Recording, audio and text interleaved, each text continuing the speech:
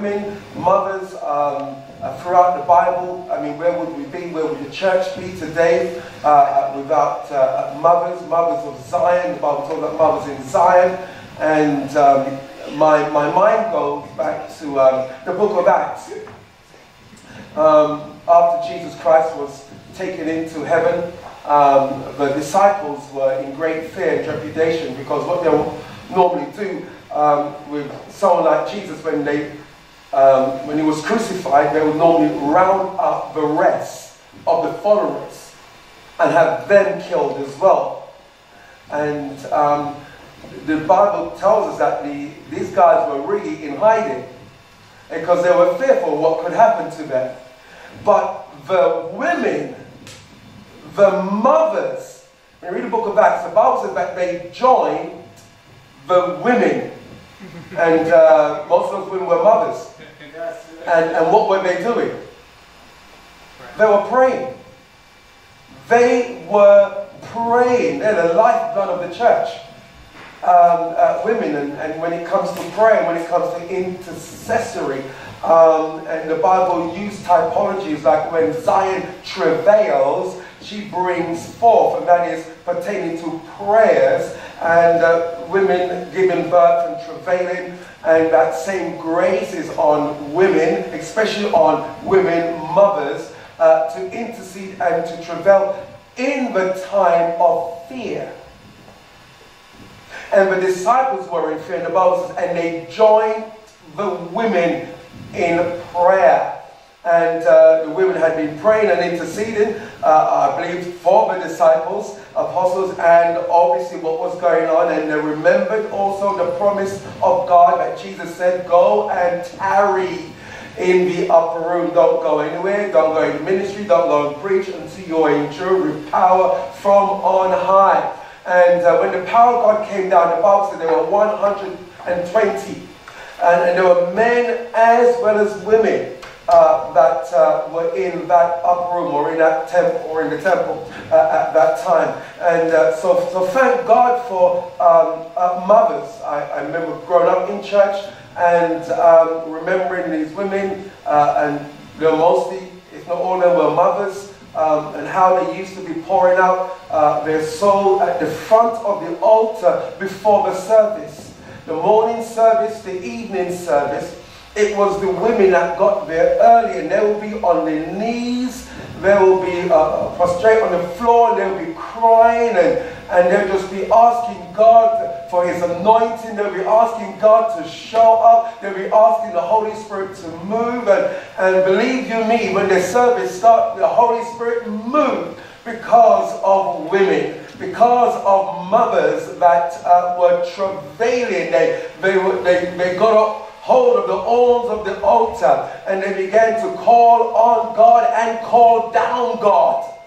Amen. And I, I remember as a, as a child watching this, I remember my own mother who is gone to receive her eternal reward and believe you me, she is uh, she has received a, a wonderful crown of, of life because I know that I am standing here uh, today as a result of my mother. It was all the grace of God, but God used my mother and she will pray, she will cry out. There were six of us um, as children, and every time I would come out of my, whatever time I came out of my bedroom, my mother got to me. She would start with the oldest, and I was, where was I?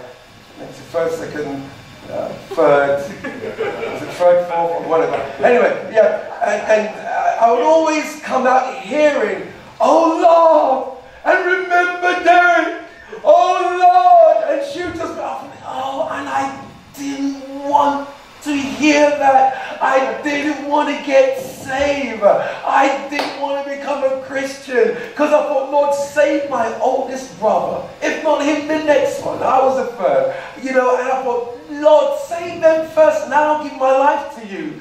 But I heard her crying out um, and, and, and pleading on God and calling upon His mercy to, uh, to save. I remember going downstairs um, because the, the rooms are upstairs and going downstairs, hearing my mother. I thought, oh, I hate to hear this, but thank God.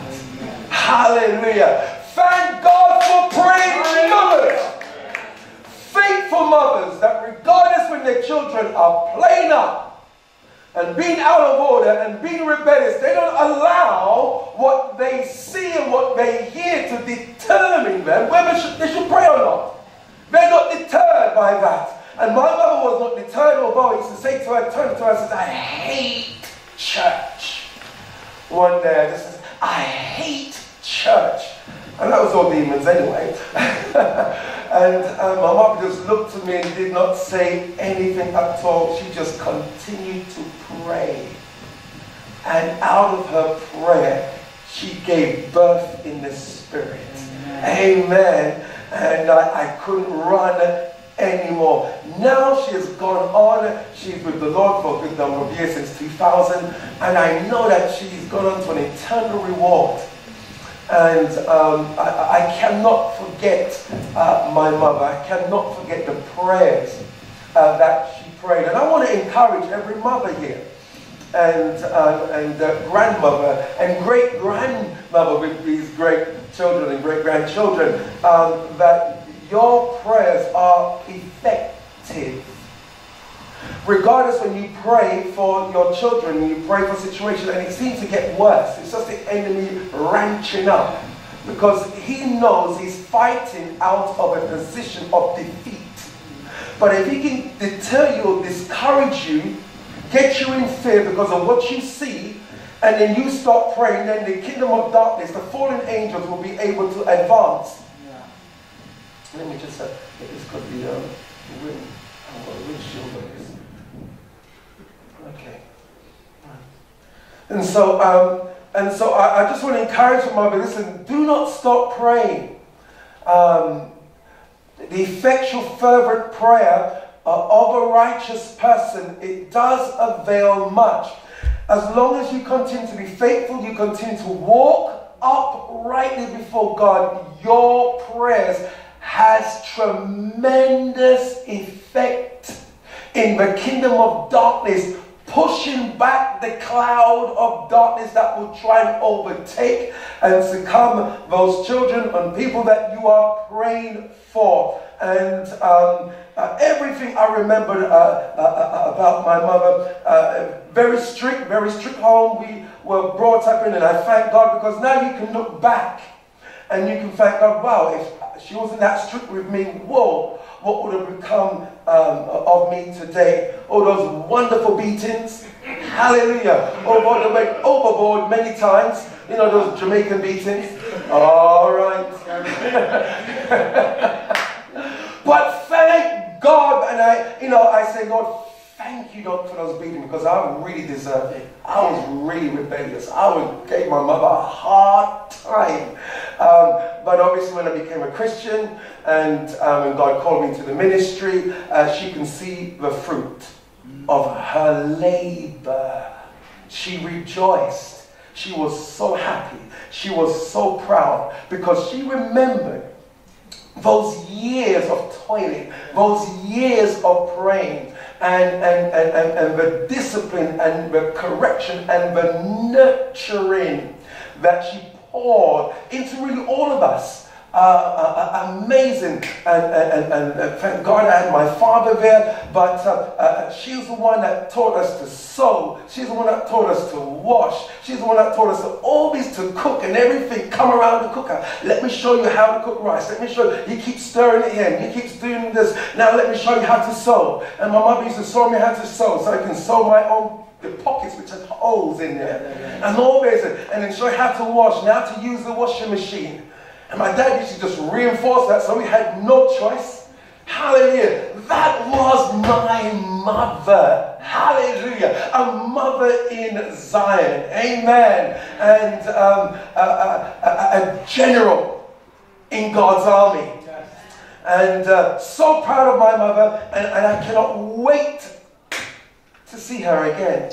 It's beautiful. So, so, so you mothers, that that um, uh, there's time you get fed up, there's time you get angry, you know, and you, you, you're disappointed, but don't give up. Listen, you must walk, and I say that to everyone: walk by faith and not by sight. Understand that your children, your grandchildren, your great grandchildren are all offspring from you.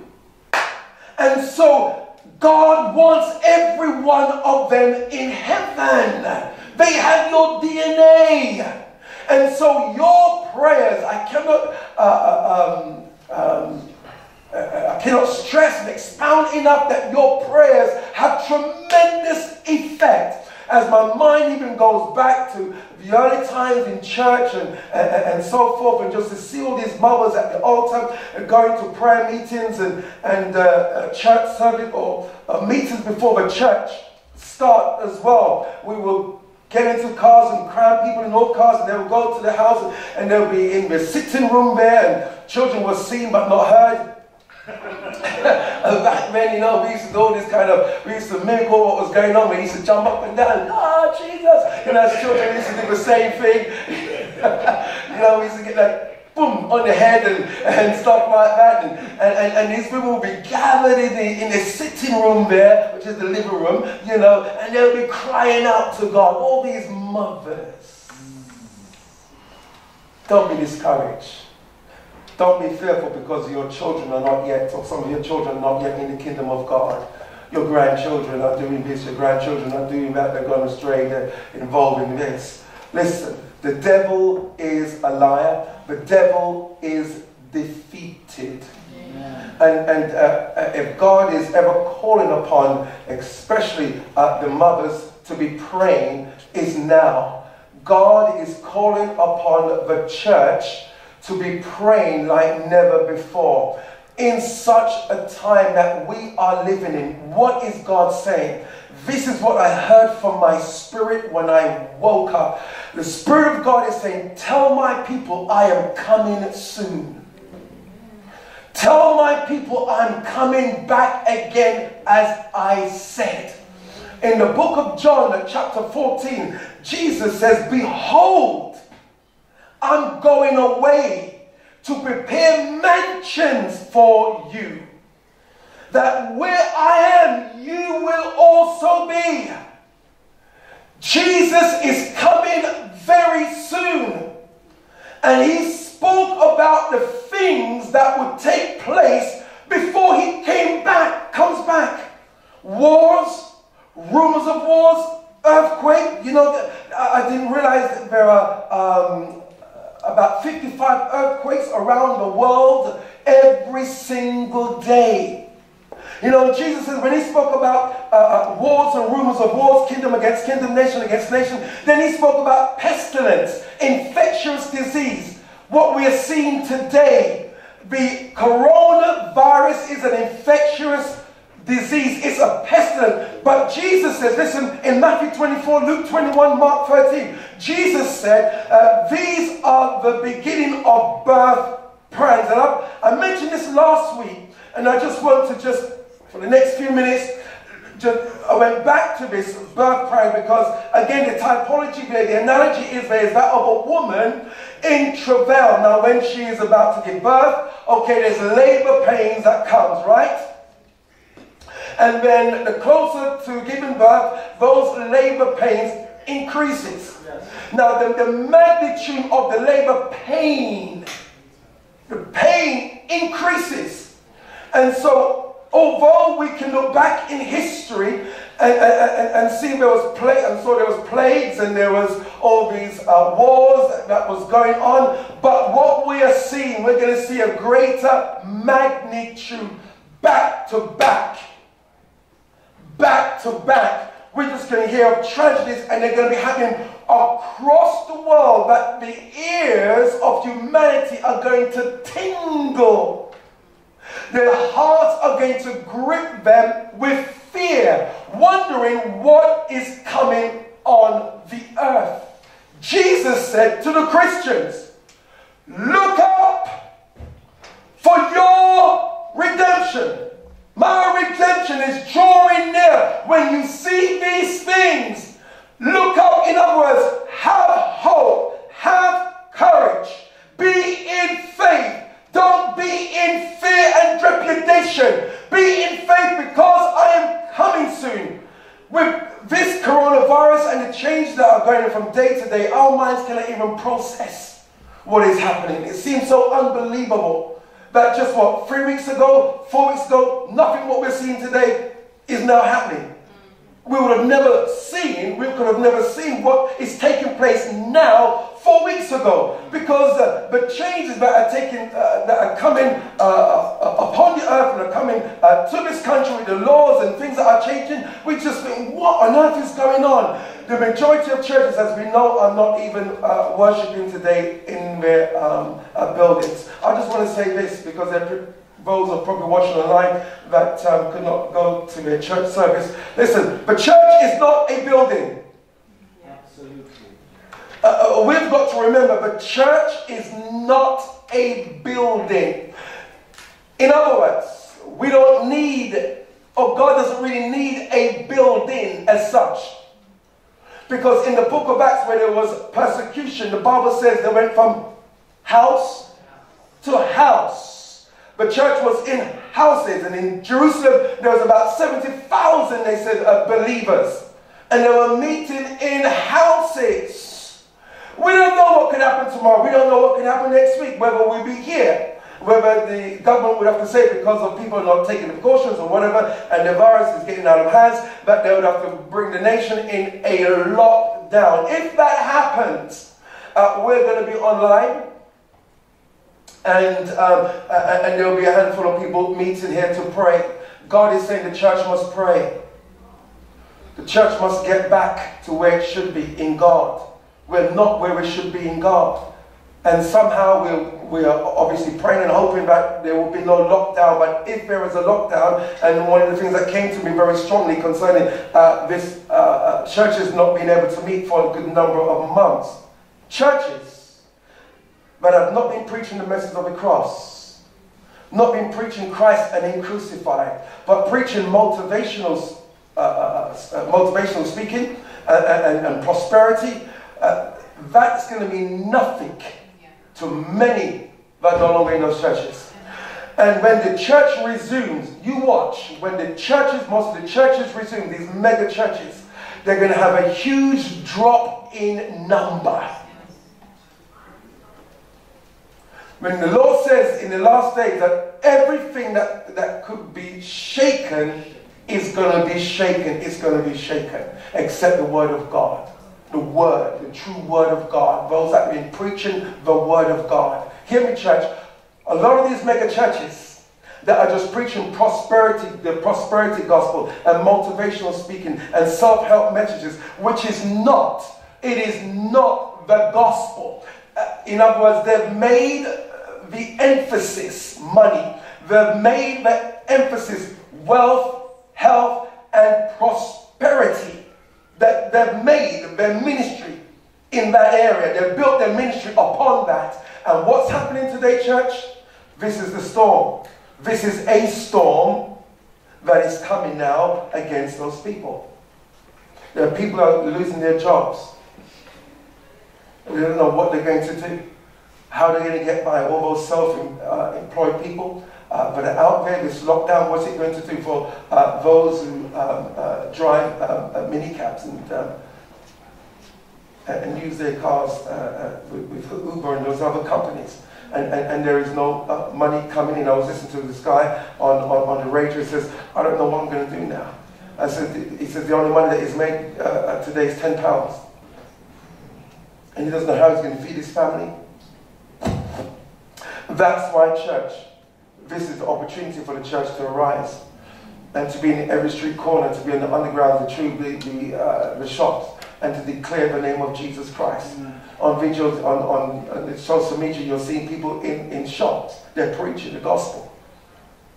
And God is saying, as I said last week in Psalms, uh, in, in Isaiah 61, arise. Stop being in fear. God is with his people. Be not dismayed. Be not troubled. God told us these things will come upon the earth. We must begin to apply God's protection. If God is able to heal, if God is able to deliver, listen, God is able to protect. And even if the virus does come on us, listen, it will not have its intended purpose. What am I saying? you will not die before time. You will fulfill your days by God's grace. Whatever God will allow is for His glory. It will not have its intended purpose, which is to snuff you out, which is to cut your life short. God came that we might have life, and so we speak life. Remember, the power of death and life. Power of death. Notice it, it, it uses the word death before the power of life and death, but it uses the word death because we have a lot of negativity. We live in a negative world, and we are always coming against death. Death against the gospel, death against speaking. And we must come against that. We must declare, we must speak against the spirit of death and bring that down. Listen, you must understand that the power of death and life God has put in your mouth. And the, uh, the next line says, and whatsoever you say, you will have. You will have the fruits thereof. In other words, what you are saying, you will have. What you are saying, you will see. And so, church, I want you to be speaking life when you are walking on the streets. I want you to be speaking in life where you are uh, in your area of uh, your, your neighbor, where you live, where you work. You are speaking, you are now carrying God's presence. Listen, and wherever the soles of your feet shall tread, God has given that into your hands. You're pushing back this tide of death and you're declaring life in the name of Jesus. Nothing is done without faith. We must believe that God is with our mouth. And God is looking to the church. He's not looking to the government. He's looking to his people to make a difference. When we hear prognosis and statistics of how many people are going to die, the spirit of fear jumps on that and comes upon people. And it's coming upon God's people. Fear. This is where we refute that in the name of Jesus. That's their professional prognosis. That may be a fact but God's word transcends. And so we must speak what God says. I'm believing for a, a drop in this area. Since Kensington and Chelsea has the highest coronavirus, why can't we reverse it? Through prayer. Yes. God says, speak to the mountain. Speak to this darkness. What do we believe? And I'm praying that we're going to see a, hear of a sudden drop in the infection rate of coronavirus in Kensington and Chelsea. No evil shall come near our dwelling place. Let's bow our heads, shall we? Hallelujah.